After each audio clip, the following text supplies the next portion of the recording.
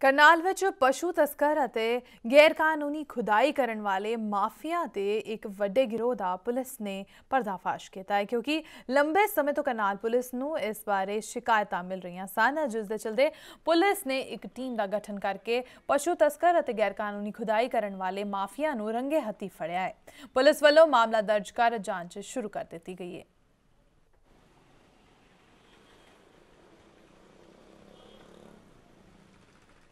कुछ पुलिसकर्मी जो हैं वो जिनकी ड्यूटी पीसीआर पर है वो जो ट्रक हैं गाड़ियाँ आने जाने वाली जो जानवरों से लोडेड होती हैं उससे अवैध रूप से पैसा वसूलते हैं। तो उस पर रेड कंडक्ट कराई गई थी और वो जानकारी सही पाई गई और उसके बाद आठ पुलिसकर्मियों के खिलाफ मामला दर्ज किया गया है प्रिवेंशन ऑफ़ करप्शन एक्ट में।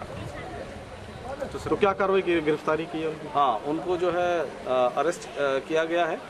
और उनके खिलाफ पीसी एक्ट में कार्रवाई की जा रही है। सर आगे भी अभियान जारी रहेगा लगातार जिस तरह से कहते हैं ये अभी और भी हमें कुछ जानकारी मिली है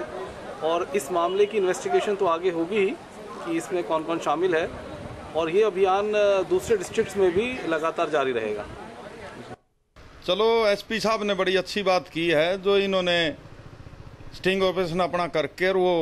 पुलिस के जो भी कर्मचारी थे जो खनन माफिया के उसमें जो मिली भगत कर रहे थे उनको पकड़ा बहुत अच्छी बात है लेकिन आप ये देखें सीएम सिटी होने के अनुसार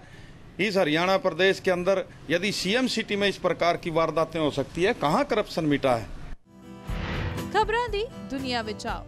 ਸਾਡੇ ਨਾਲ ਕਦੇ ਵੀ ਕਿਤੇ ਵੀ ਜੁੜੋ ਆਪਾਂ ਮਿਲਾਂਗੇ ਫੇਸਬੁੱਕ ਤੇ ਅਸੀਂ ਦਿਖਾਂਗੇ YouTube ਤੇ ਸਾਨੂੰ ਫੋਲੋ ਕਰੋ Twitter ਤੇ खबर जुड़े रहो दिन रात।